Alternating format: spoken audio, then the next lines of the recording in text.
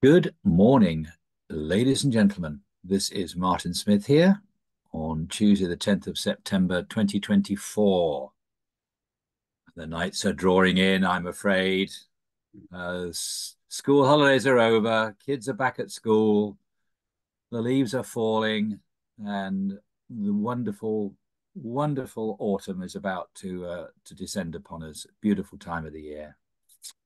Um, I'm Martin Smith, Chairman and founder of the SASIG, and we have with us today, uh, let me just get rid of that. We have with us today Mike Polatsek, who is the CEO of CybeReady. Now, I am really looking forward to this presentation this morning. Um, we have a massive crowd of the SASIG membership joining us because it's about security awareness, and this is the Security Awareness Special Interest Group. Hello, Stu. Please tell everybody who you are and where you are. Do say hello, everyone. You know the format. um, yes, Mike, I am so looking forward to our chat today. Uh, Mike is speaking from Freiburg in Germany, where he is trying to have a holiday. Um, but he's a bit like me. This always comes first. Um, what we'll do, Mike, if you could just pop yourself on mute while I just go through the um, go through these uh, these these these notices. Hello, Leslie from sunny Warwickshire. Oh, that's unusual. Um, right, Nadia, we can move to the next slide, please. Um, quickly, the house rules for today. You all know these anyway, but I will just mention them. Um, the Chatham House rule, please respect our speakers and our questioners. Anybody that comes in to make a, make a comment or ask a question. Um, you can attribute what's said today. Oh, sorry, you can report what's said today. You just cannot attribute it to any particular speaker, especially Mike. Um, that means that we can have free ranging conversations on all sorts of things. Um, do join in. We have some questions and answers in the chat coming up. If you want to just throw in your three halfpence worth, will be lovely. Give us your feedback at the end. That's really important. And finally, get involved. Tell your teams about SASIG um, that's the quickest way for us to spread the word is if you get your colleagues to join in as well um, and the peers in other organizations. Oh, and a big point from me, I keep mentioning this, um, your supply chain. If you have organizations that supply to you um, that may be smaller, may not have the same sort of resource or knowledge that you have in your own organizations, then help them out because by helping them out, you're helping yourselves out. So you, one of the things you can do from that is to um, is to get them to join the SASIG and come to these amazing webinars. Next slide, please. All sorts of upcoming webinars. You know I don't go through these in detail. They're all on the website. But what's of note is that we're really more or less back to one a day now, apart from when we're holding an in-person event. And that's in demand from our members. There are a we have so many things that we'd like to talk about. We could do two a day, uh, but we're back to one a day, which is, I think it's uh, it's quite uh, it's quite. I was going to say quite amazing. It is really that that we managed to do this every morning at eleven o'clock, and you know it's it's lovely to do. It's a privilege. Next slide. The in-person events about one a week not every week, but most weeks there'll be something on. I'm hosting the legal SASIG, the legal sector SASIG next week. Hello, Ian Cruxton. Um, we've got big thing on the 24th and 25th of September. You know we're part of 19 Group now. It's their big uh, international cyber expo Olympia. We're running a global cyber summit for the uh, the, the two days that it's on, and um, We've also got our gala dinner on the evening of the 24th. So that's a big, big thing for us. If you can get yourselves along to Olympia, please do so. We've got a big meeting on the 1st of October hosted by BT on awareness. That's uh, always a popular one. It's going to be a massive crowd there. We're going back to Dublin in October, all sorts going on. Again, look at the calendar. Do sign up. A lot of those will be streamed as well, so you can join in online. Next slide.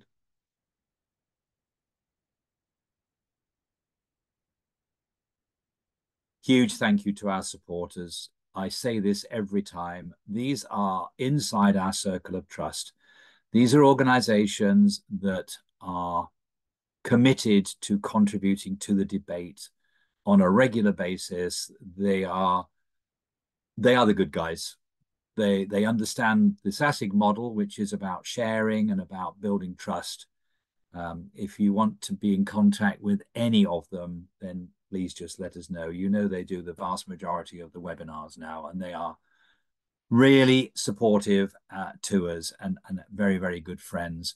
Um, CybeReady is a guest here today, and there'll be a poll at the end. If you want to hear more from them on this occasion, then please just let us know and we'll put you in touch. Next slide, please. And here we are.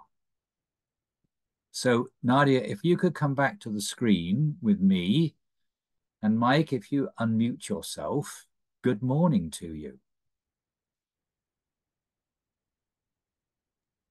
Hi, good morning, Martin. Thanks for having me here.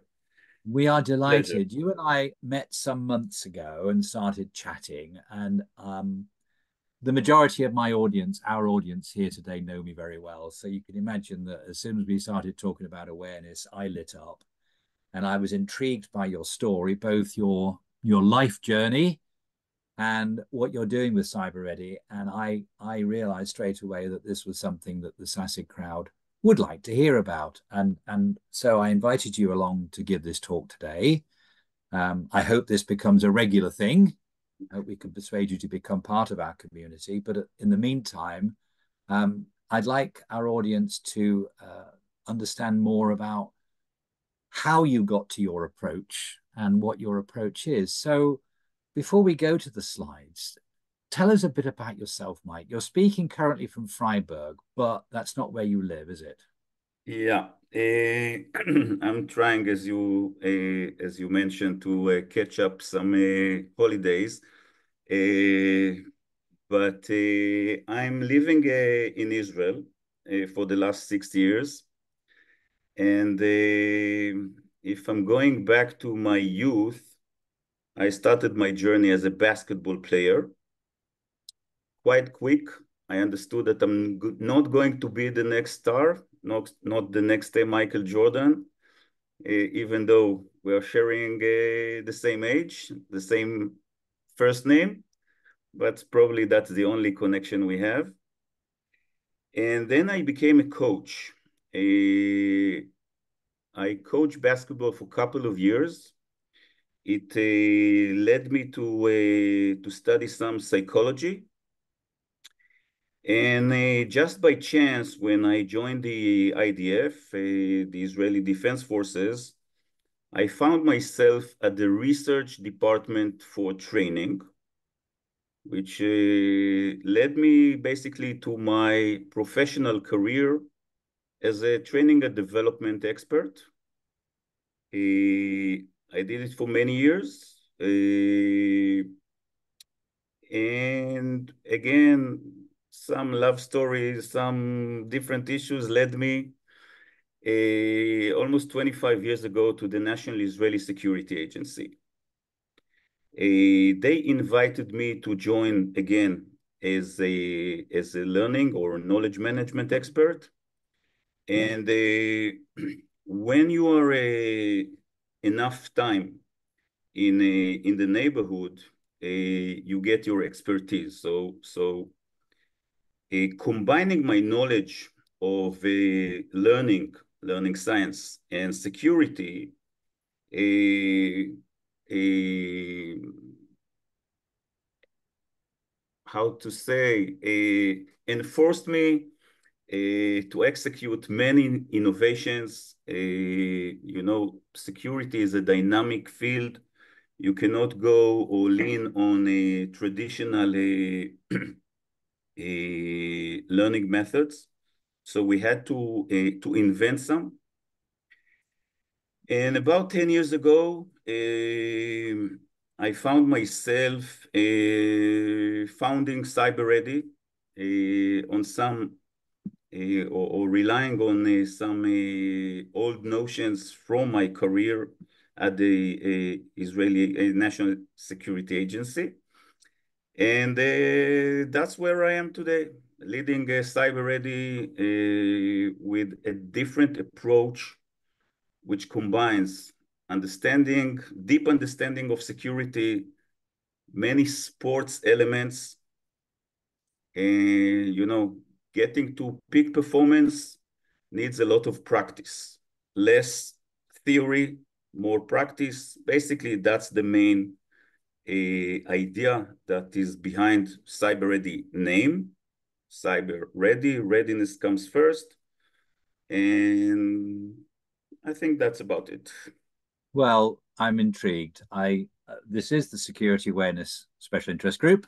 Security awareness is the genesis of our community. It's not all we talk about by a long shot. We talk about all aspects of cybersecurity now, but I knew that this would um, this would attract a huge audience as it has because this is something that's in all our minds. How on earth do we improve the security, education, awareness, behavior around this topic? Nobody wants nobody wants to be more secure. We have to try and persuade them. So if you could share your screen, then we will um, listen to your presentation. If I come back on the screen, it's because I've got a question. If anybody has a question, then please put your hands up, pop it in the question box. Um, but no, off you go, sir. I can't wait to hear this. All right. Thank you very much, Martin. Uh, so good morning or good uh, noontime for uh, most of you. Uh, my name is Mike. I'm the founder and the CEO of CybeReady. As mentioned, we're an Israeli uh, company. And I want to try and break some myth uh, about awareness training. First of all, I think that's the a bad name. Awareness training should be changing its name. Uh, there's some debates uh, around the community, what is the right name? My suggestion, of course, is to go for readiness. Awareness is kind of a fuzzy term, and I'll uh, uh, try to demonstrate it uh, along with some of the myth here. If, as for my background, I already shared it with Martin, so I'll skip. in, in two sentences, CybeReady provides a unique platform for awareness training. Eh, it's a program, it's not a content library. We have our unique eh, approach, and basically it runs autonomously eh, actually working for our customers and it's not something that our customer needs to operate in a way, but it's not a sales pitch. So just keep it in mind. So just to, uh, to give you some context about how this uh, presentation is going to look like, uh, always on the left-hand side, you'll find a myth. And I wanted to start with this one, with the, the famous Maslow hierarchy of needs. I guess most of you know that there's a missing piece at the bottom, which is the connection to the internet. But uh, the truth is that Maslow never created any type of hierarchy, and the theory behind it was never validated.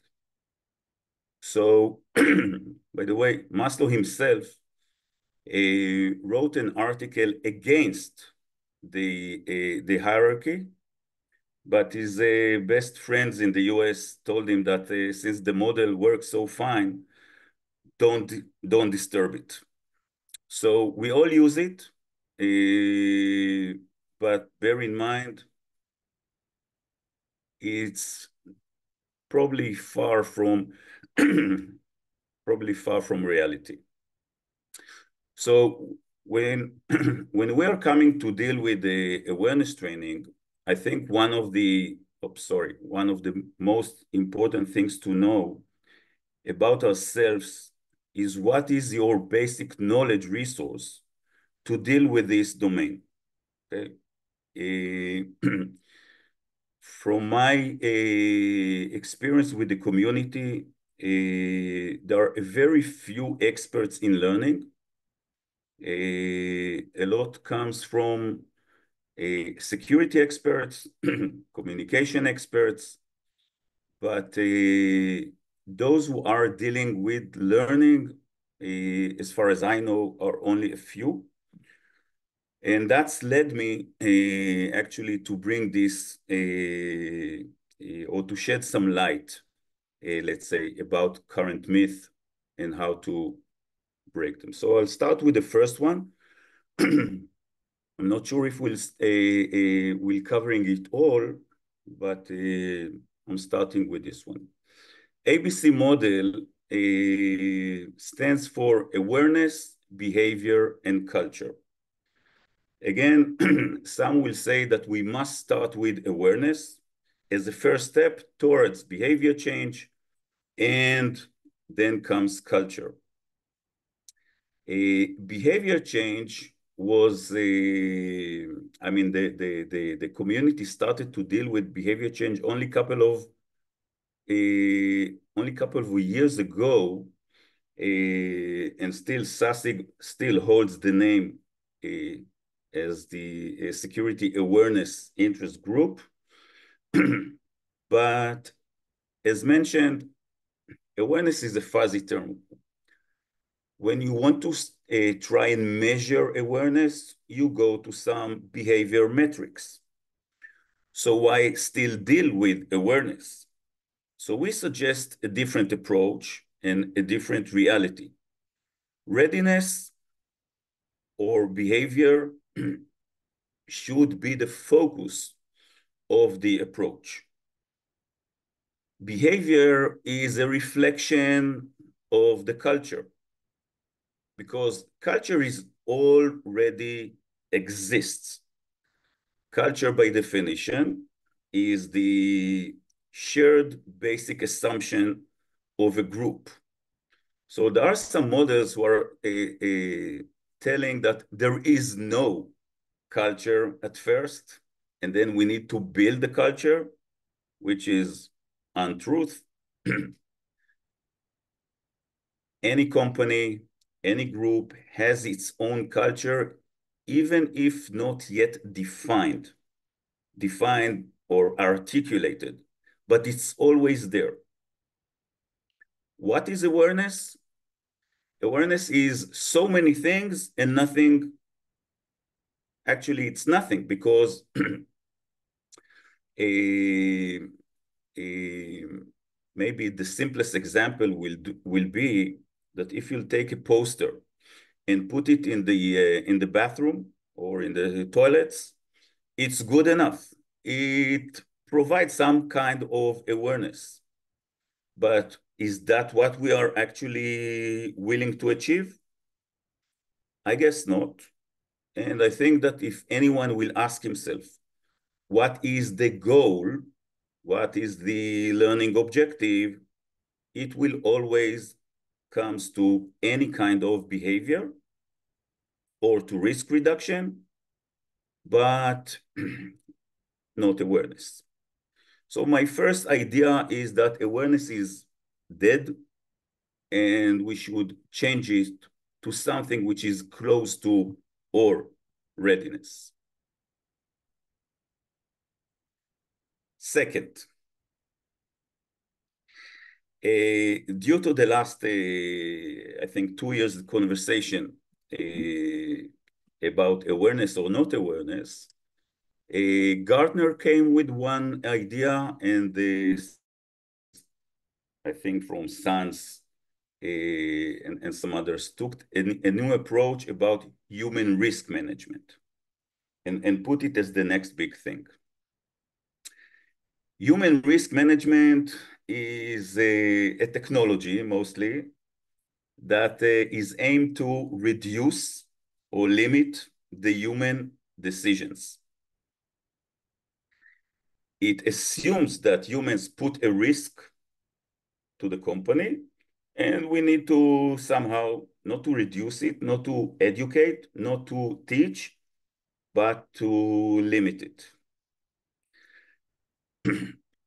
but when you are looking at the problem from a learning perspective, a, and you have not a negative approach, but an optimistic approach about human beings, you want to empower their ability to make the right decisions when there are alone, working from home, working in the organizational uh, environment. So human risk management is a, an old technology that probably uh, uh, failed.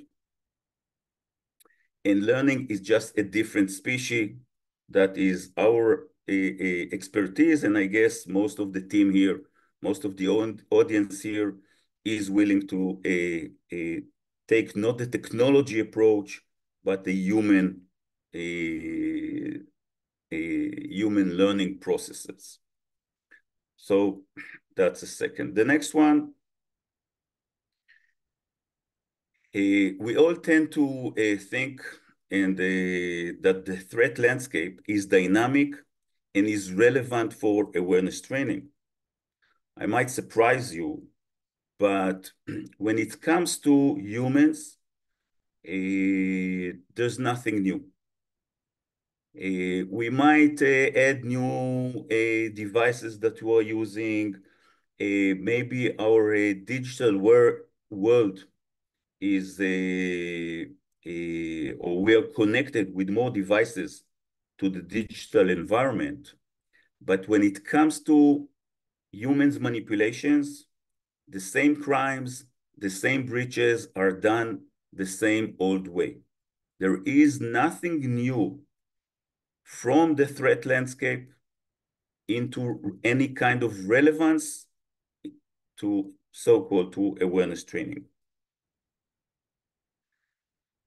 And here is a, a an example that I, I, I got from one of our customers just last week when I was visiting in Germany. And we discussed what is this sophisticated new approaches by Uh, by the adversaries or by the hackers. So here's an example of a, a large corporation that was uh, targeted by 800 emails from 500 different domains with 80 different types of messages, and they were all personalized. So, so my customer said, this is a real, real sophisticated approach and how do we deal with it?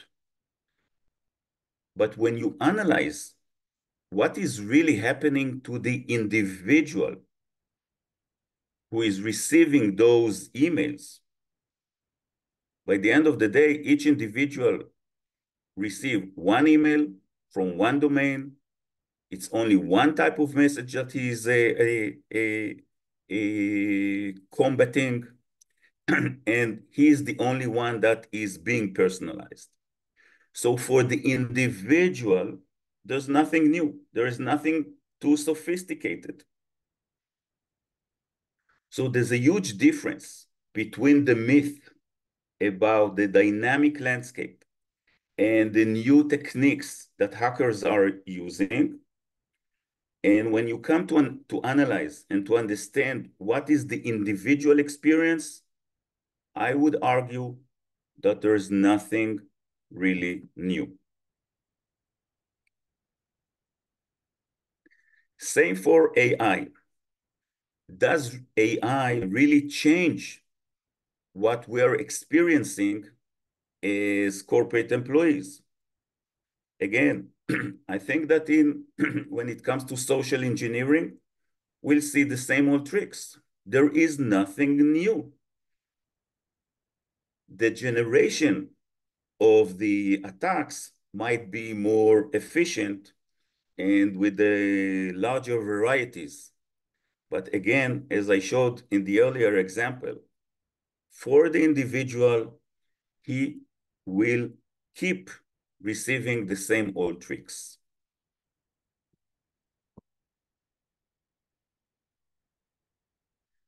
Okay.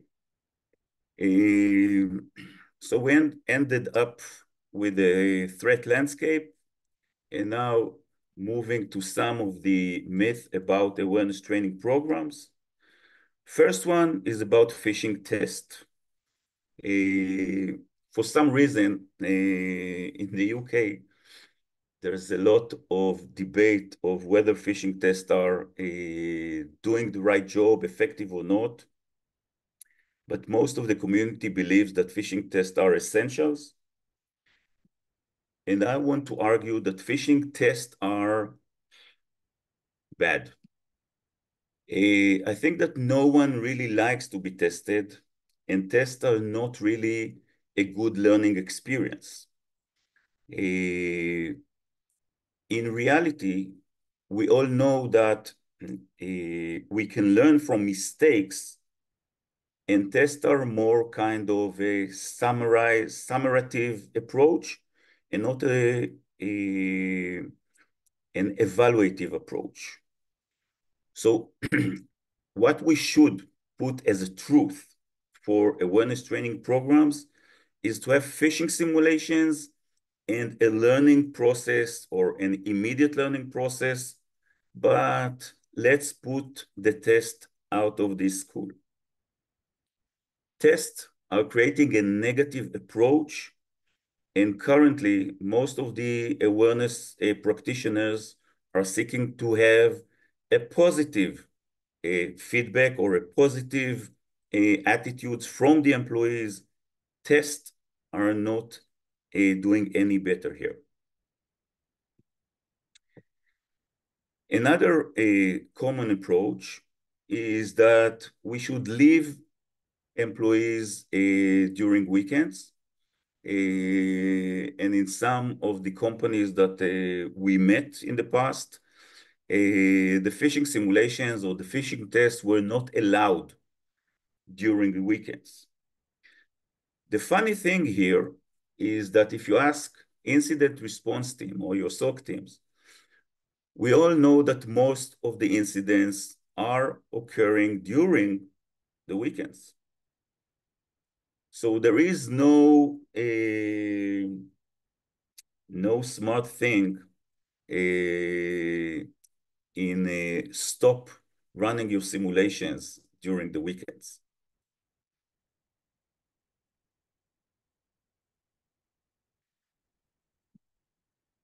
Next one.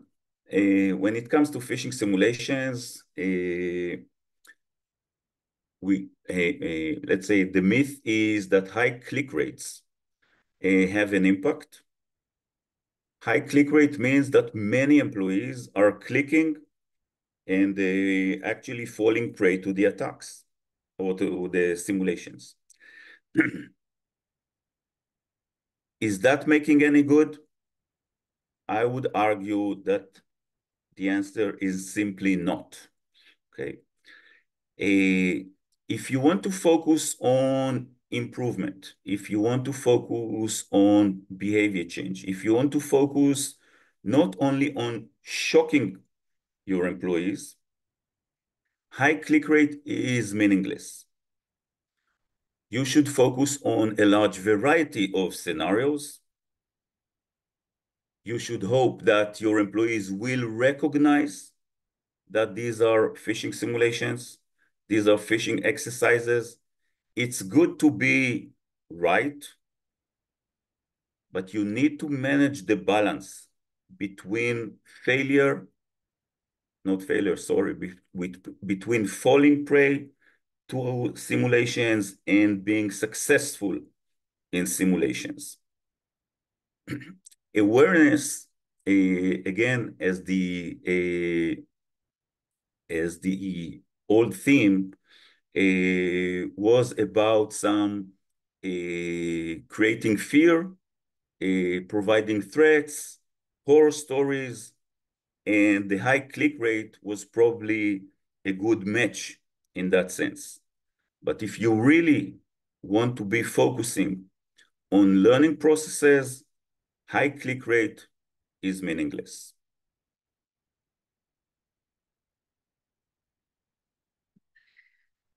Another interesting thing about running phishing simulations is the difficulty level.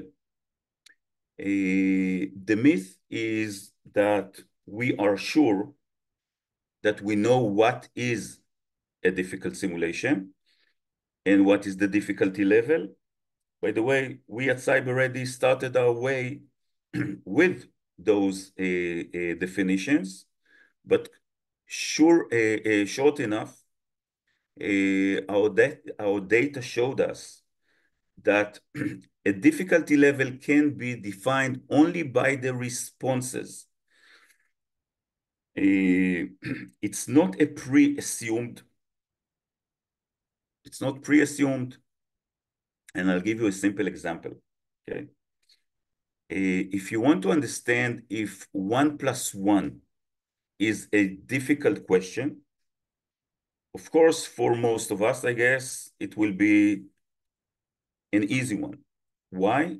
Because we all know what is the right answer. But if you'll take a, a three years old a kid, he might be missing the right one, the right, uh, the right answer. So it's not embedded in the question slash the simulation. The difficulty level can be only defined by the level of answers or responses. So you can try, like the hacker, and then know what worked and what didn't work. But pre-assuming that this simulation will get a high click rate and this one is not good enough for that purpose is wrong.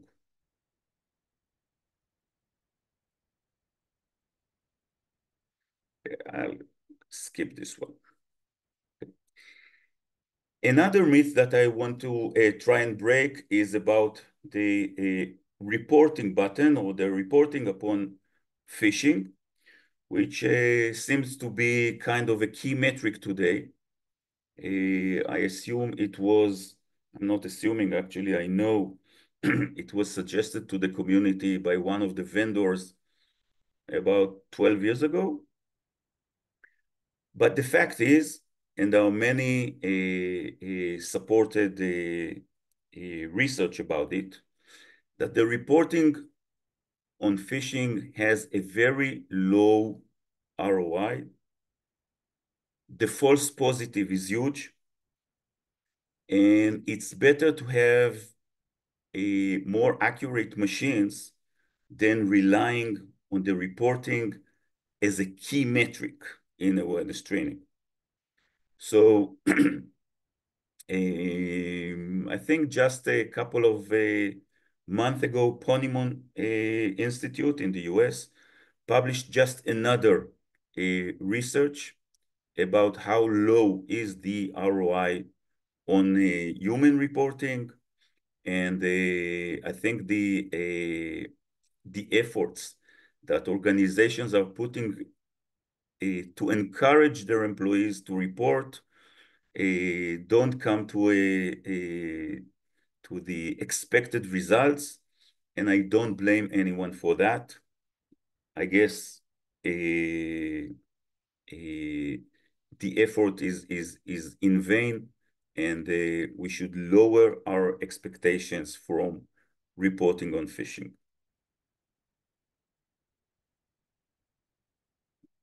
Okay, I'll skip on that. Okay. The next, uh, the next myth that I uh, uh, want to deal with is about content. content is currently perceived as the number one tool for, for awareness training. And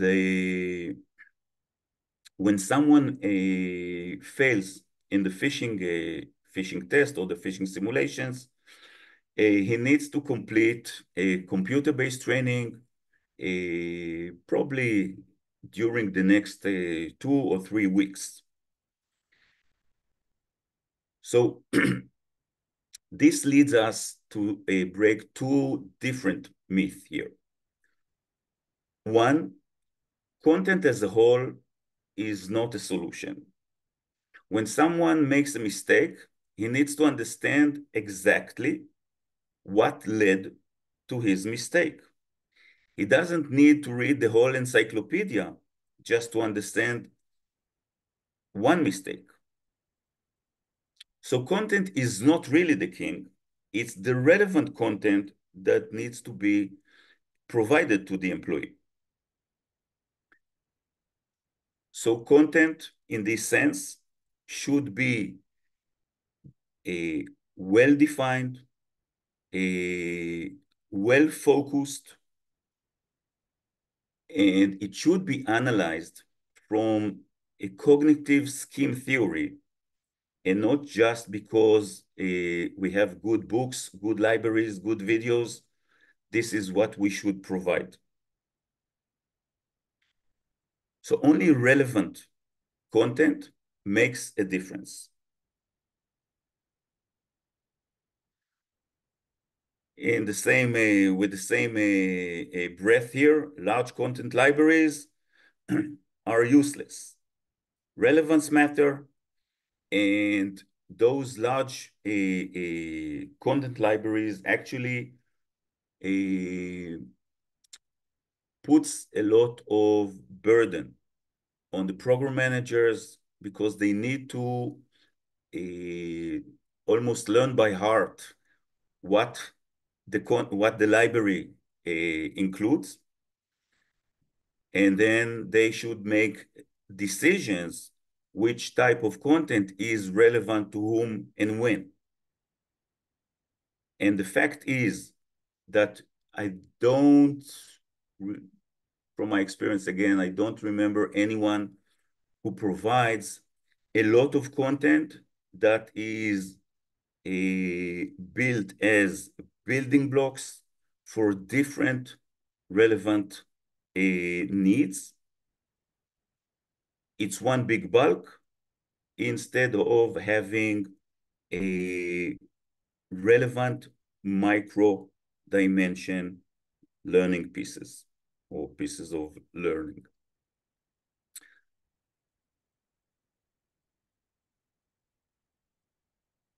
Another myth, videos. Uh, I think that the myth is a, brought to the community in two, in two waves. One was that uh, computer-based training was too long, too textual. In a couple of years ago, there were two vendors that uh, probably pushed to change the, the content landscape and move from, let's say, standard computer, computer-based training to, uh, to video libraries. The second wave is from the young, uh, the young age uh, experience about TikTok and Twitter and the and the Instagram. But honestly, practice is much more critical for behavior change than videos. So it might be flattering, it might be amusing, but we are not in the entertainment business. We're in the behavior change and risk reduction business. Mike, I'm going to yeah. jump in at this stage because I'm very keen to open up the discussion here as well. Um, I, I, don't want to cut your presentation short, but when we started our conversations, this was a very, very important point to you that practice is what it's all about. Right. That it's not necessarily knowledge, it's more about practice. Um, can I just tease that out of you a bit more at this stage? I, I, unless there's massive stuff that you still want to say no, no, No, no. no. This seems to be the critical point here in in in your um, in your perspective here as it's about practice and I go back to your sports training as well. Indeed. Indeed. A practice a, makes our mind changing. Practice is the point when we are collecting or putting together different pieces of knowledge when we are adding one building block and another one and another one, practice is actually changing the plus, the adding effort. It changes structure of the knowledge, but it's not practicing the knowledge. It's practicing or it's working on the adding effort. So we are combining two pieces of knowledge together only by practice, not by so-called understanding.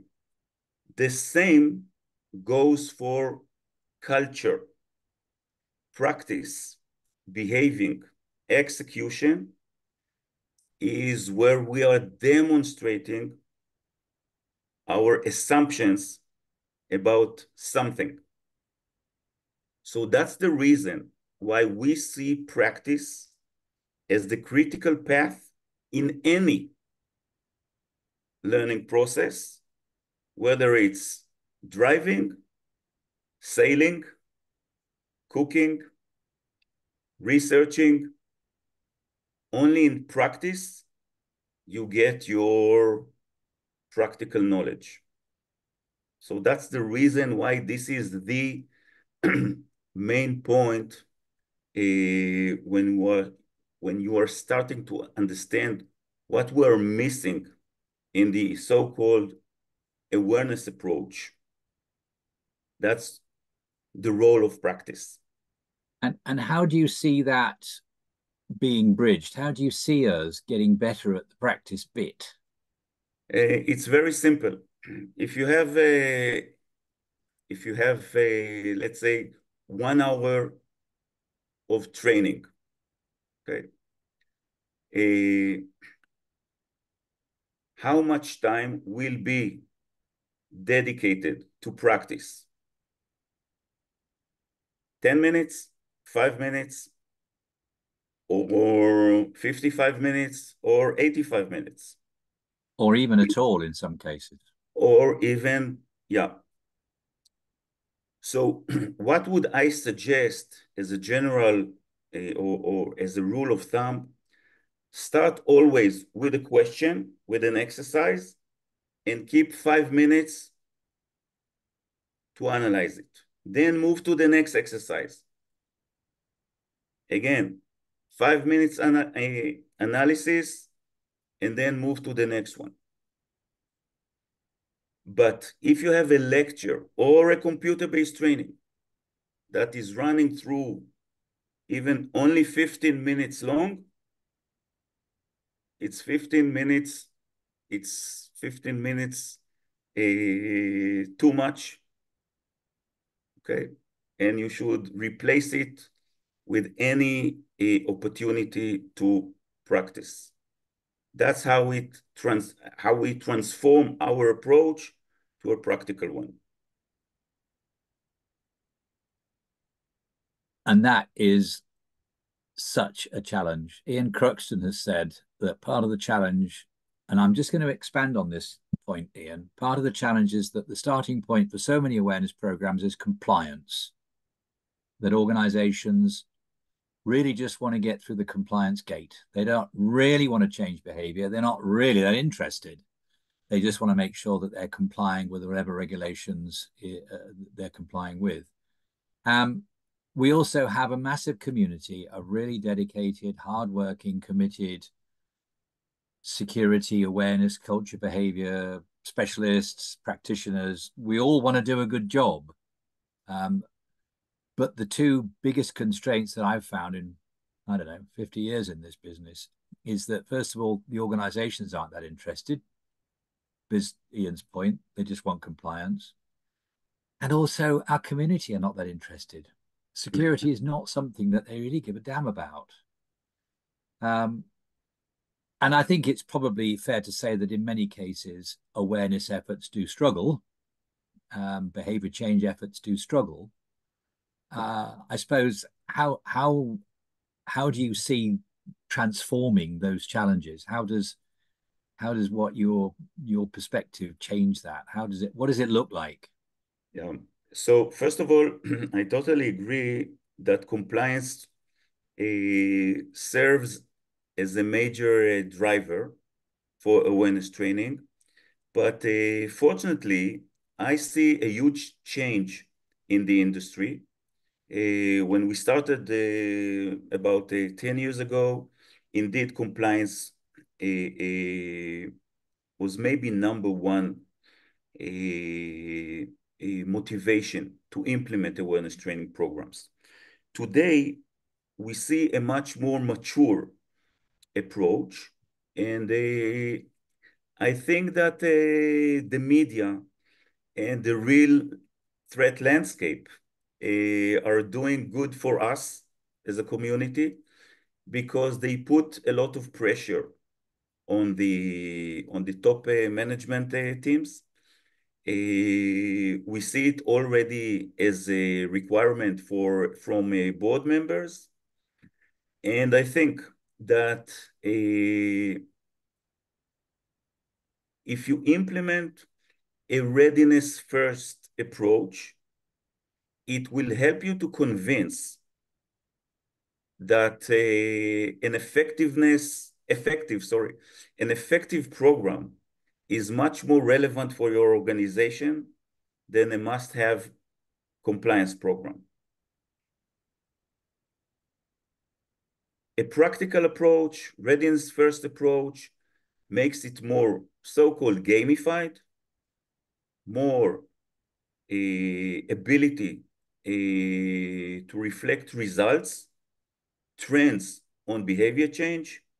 So it's a much more vivid uh, experience for your management team than following who completed this module, what was the exact uh, score on the last test.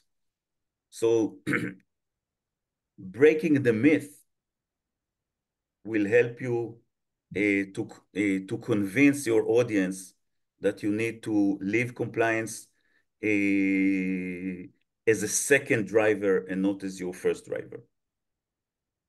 We're getting some great points coming in from the audience. Um, Emily says the myth that really impacts support for awareness programs is belief that technology can protect us from all the threats and that we have too much reliance just on the technical technical controls, and and that will never change. Um, Raymond says people can be aware and show they are aware. They can even give great examples and demonstrate they understand. The problem is that their day-to-day tasks takes their attention. Everything else is a distraction. Um, and that distraction is the way that the crim gets in. These are all issues that we've all struggled with forever. Um, I, am really just um, asking you what you feel is the difference that you can bring to this debate because we have to continue in the real world. We have to achieve compliance. We have to work with the budgets we've got. We have to use the tools that are available to us. What what do we need to be doing differently? I suppose. And and finally, Claire, as Claire Walden saying, what should that practice look like? And and and that's I suppose where I'm coming back to the whole time. Yeah. So he trying to sum sum it up. Uh, I think we need to move uh, to move in our approach uh, and decide who comes first. The employees come first. The techno the the tech teams, the IT teams comes first. Your management team comes first. They all should uh, share the same assumptions about what is important because this is the definition of security culture. Okay, culture, as I, as I mentioned earlier, is the shared basic assumptions between among certain groups. So if your employees are thinking that it's annoying and it's only a must-have. Okay, so you are fighting against them. If your management team share the same approach, you are fighting them. So you need to understand where are you living, in which neighborhood, who are your neighbors, who are in favor of you, and who are against you. I'm running this fight for the last 40 something years. And I always uh, put practice, experience. Uh, I'm trying to kill lectures. Okay. I don't believe that uh, providing more and more knowledge is helpful. We should put experiencing more and more as number one priority. Now, uh, we all tend to uh, to believe that data is uh, should be supportive. So indeed, we're using a lot of data, but I can I can I can assure you that data cannot live alone. Still, management looks at data in a different way that you were uh, intended. Uh, even our customers don't believe the data in many cases. Um, so it's an ongoing struggle, but you need if you want a, a, a, my first tip or the only tip, change the definition of your role, of your space, of your program, and put awareness aside. Try to deal with experience, experiencing learning, readiness, this is our definition, a behavior change, risk reduction, but don't rely on awareness slash compliance. It's kind of cosmetics, but it makes a difference. Um, there's a, a, poll gone up there. If anybody would like to continue this conversation with you, I, I would. Um, I'm I'm I'm very uh, open about this whole discussion we don't have the answers. Your voice is a refreshing new voice, one that I've not heard before. Your not all of your points I would necessarily 100% agree with, and I'm still not completely sure how we change the challenges that we all face. But I certainly I want to continue this conversation. I want I would like for you to continue it with our membership as well. So if anybody would like to just continue that conversation with CybeReady, just connect the box, click the box, and we'll put you in touch with Mike. Um, or you can just reach out to him directly. Um, but it's if, yeah, if we if it was working, Martin, technically you can scan the barcode and uh, it will lead us uh, uh, to our to our website if you want to see how it how it looks in reality as a program, as a running program, right? That reflects all the ideas that uh, I defined it as the new reality as opposed to the current myth. Okay, that's if you want to see how it works. And and what I'm saying to our community is that um, they should be careful that might be a phishing test. Uh, I don't think so on this occasion. um, uh, I just I welcome all voices to this debate, and I would encourage everyone in our community to be uh, open-minded and talk to, listen to everyone that's that's trying to bring a new perspective, not new ideas. There are no new ideas. It's all about perspective. It's it's what's working, what isn't working, and what can we change to make what isn't working work better. And and that's that's why I so enjoyed our conversations when we first met I've enjoyed today. Um, I'm very conscious that uh, you were challenging, quite challenging in some of the things you were saying, which that's our way, Mike. We like that. We yeah, like that very right. much indeed. So, um, is there anybody out there okay. that's got anything else to say? We've got a few minutes left. I've um, Claire, I've answered your question, I hope. What should that practice look like? Or is that too big a question, says Claire? The practice depends on what it is you're trying to reinforce, I'm guessing, and the, the methods are, are, are many and varied.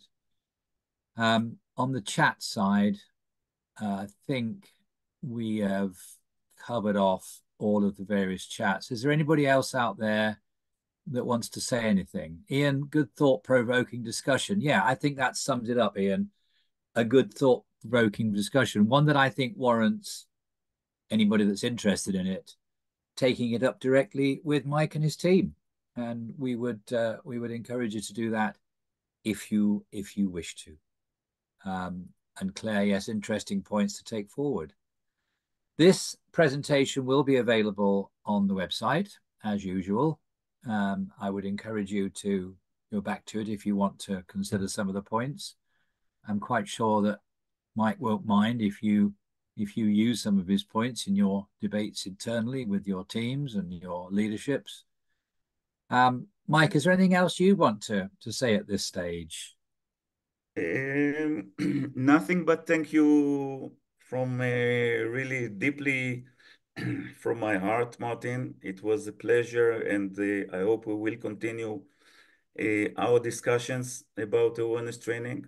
Uh, I do believe that uh, we have a lot in a lot in common, and uh, if someone feels that he needs some partners to fight, to fight for the truth, personally, I will be happy to assist, and I guess you are you will be joining me, or I will be joining you. Uh, of course.